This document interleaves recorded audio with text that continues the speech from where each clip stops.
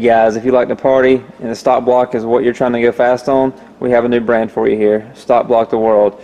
Go to the link in the video and support us. It should eventually lead to t-shirts, hoodies, and other apparel. What's up guys? Uh, other day, buddy sent me a screenshot. I saw there was some stuff on Black Friday sale that I uh, had been wanting. Um, I don't really get on Facebook a lot or ever, so I, I always miss the deals when they pop up. Uh, so I saw a chance to get these brand new and I jumped on it. Uh, so here's the, still waiting for the, the back part to come in, but so far the fronts came in.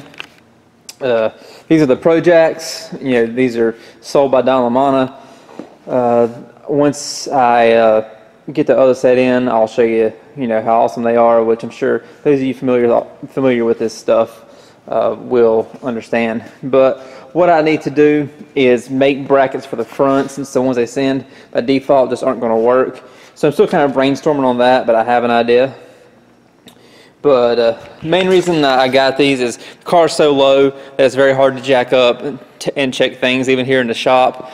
Uh, so this will make it uh, easier at the track. It's an air hydraulic system, so all we got to do is you know run the uh, air compressor to it and pump them up yeah, so it's, it's just gonna make servicing the car when necessary a lot easier and doing other things. Even scaling the car will be easier because uh, it'll be easier to let the whole car, you know, down at once uh, and everything. But what I gotta do now, I'm gonna start figuring up uh, my design for these front tabs, and uh, and then I can uh, get those things cut out on the plasma table. Uh, what's cool about the rear is the way Marty's lower brackets are they already have a spot for them. So we're good to go on the rear tabs. So the front is all we got to worry about. So I got it drawn up here in my Autodesk Fusion 360 software.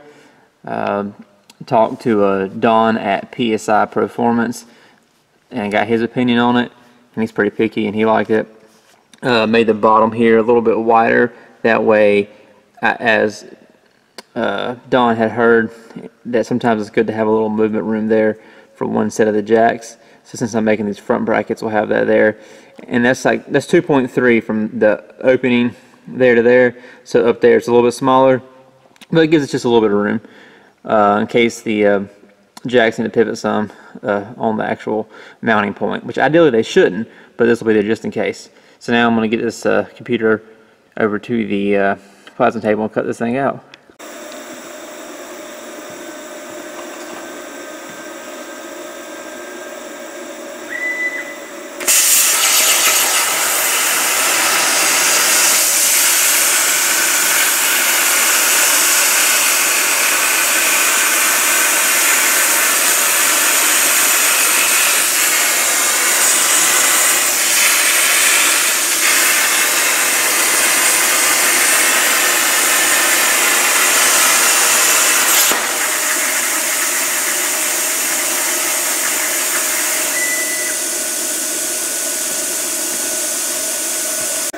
So I went over there and test fit it. It works. A little, a little bigger than I like, a little bulky, but I don't want to put holes in it and risk the uh, strength, you know.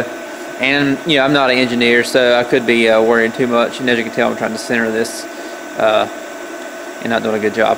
But anyways, uh, I'm going to cut another one like this. Uh, and then, uh, then clean them up. I don't think I'll get them welded on today. I'll probably do it Tuesday night. But that's what I've got. So let's get this other piece cut.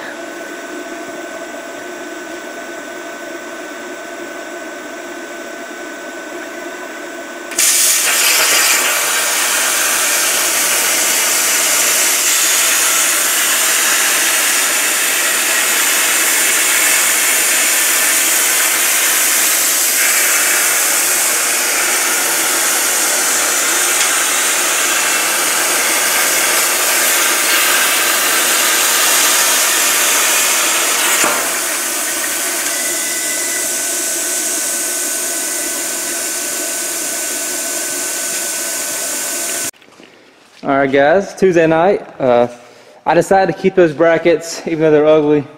Uh, they're thick, but you know, it's pretty important to hold the car up. So uh, I'm just gonna get over it.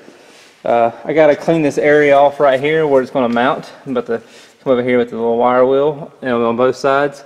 And then when I get all that stuff cleaned up, I'll drag the welder over and, and get these things uh, welded on. Alright, the tabs are on. Now we're getting ready to move these things into place. That one's back there. That one's back there. And we will uh, record the first uh, raising up of the car with these things. Alright, it took a second to figure out how to use the pump, but uh, I think we got it working now. So this will be the first time we actually raise it all the way up.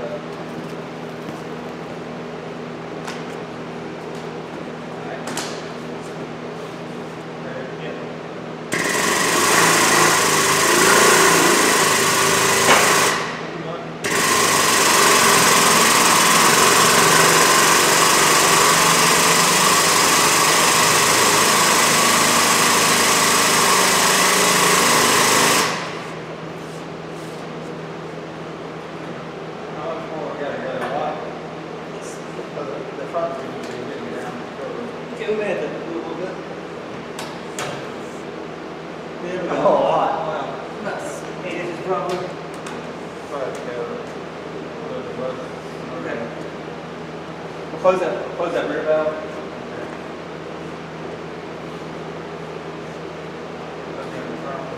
Yep.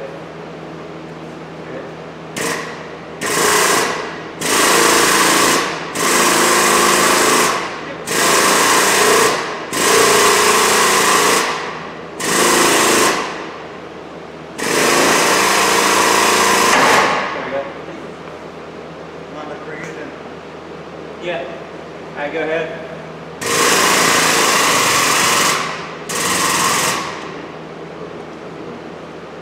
Go ahead.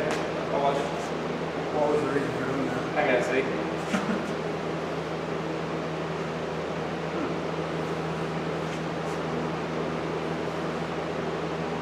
Still on there. Let's go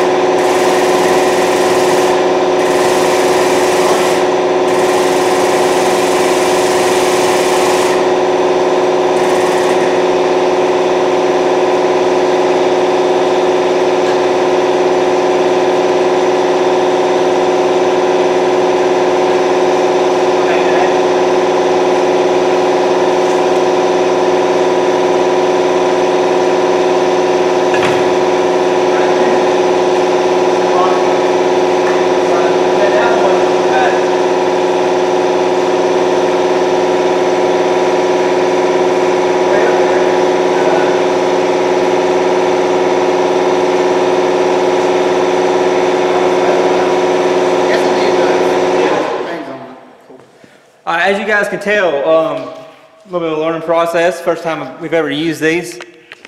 We've uh, we've seen people use them, but it's one of those things. It's like you know I don't think I ever have to worry about it. I just have to pay attention. Um, but uh, the car is actually really stable. Uh, now that they're all now that it's fully seated, we also learned trying to raise them together. Doesn't go too well with the jack, so uh, it looks like with this car, how the front end is, it'll be best to raise the rear uh, a good part of the way, and then uh, get the front going, then finish raising the rear and seat the front. So pretty uh, pretty cool. Uh, just got to get used to it. They're kind of touchy, and obviously if you got something you know like this sitting up in the air, you can't help but be nervous about it. And these jacks are pretty tall too, so it'll definitely help out with being able to work on things if necessary, and if we got to take stuff apart, uh, you know, without without being able to have the convenience of a lift. So uh, all in all, pretty cool. Uh, pretty happy about it. Definitely will come in handy, and also the car looks gangster sitting on them. Just wanted to get you guys a quick under the car video.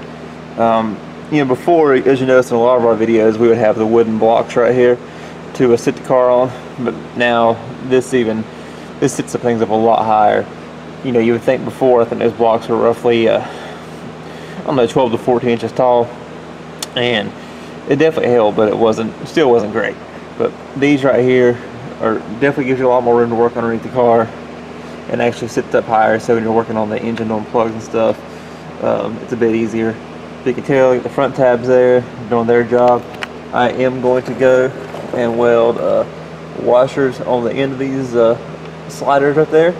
Um, the slider is the uh, adjustable rod. That way, if you don't have one out far enough or something, it just it can't slide out, you know. Uh, because they have pressure on so they can't slide anyways but you want to get too close to the edge of that chunk of steel and have it not uh, slide out or have it slide out. And back here you know we didn't have to make any back here because Marty's brackets already had spaces for them that were perfectly made uh, so that worked out well. You can tell we just got a little more width back here uh, on the uh, adjustable part. So that'll uh, give you a little more uh, a little more comforting having the washers on there so it can't slide. And while I'm in here, let me see. I don't see any uh, signs of the drive shaft rubbing anything, so that's good, even though all we've done is spun.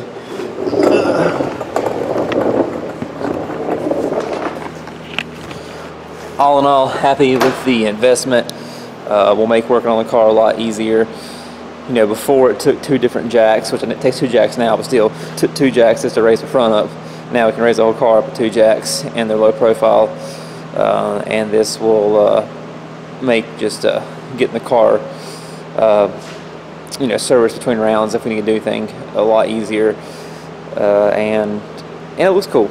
And that, that matters too. It looks cool. So anyways, appreciate you guys watching. Make sure you like, share, and subscribe.